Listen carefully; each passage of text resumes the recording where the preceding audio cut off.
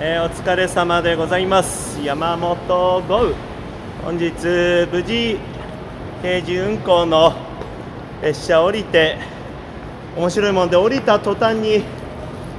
あのお願い陳情お願いをした先方からお電話かかってきまして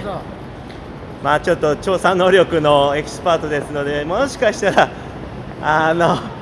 私の電車高砂乗り換えでっていうのをもしかしたら調べてくれたのかはたまた運がいいのか私外回りの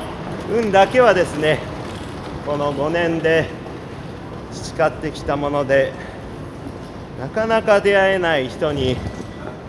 その日に出会えたりとかっていうので恵まれておりますので少しやっぱり冷えてきますね。都内とやっぱり、うん、郊外とでは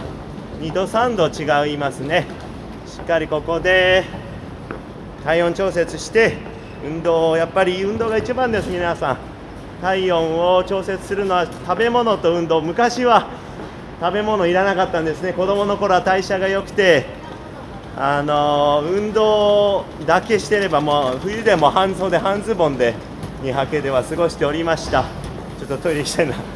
えー、そういうことでまずちょっと行ってまいります。山本豪。順調にあの選挙区にいなくてもですね政策を進めることができてます。計算通りというか皆様のおかげでございます。頑張ってまいります。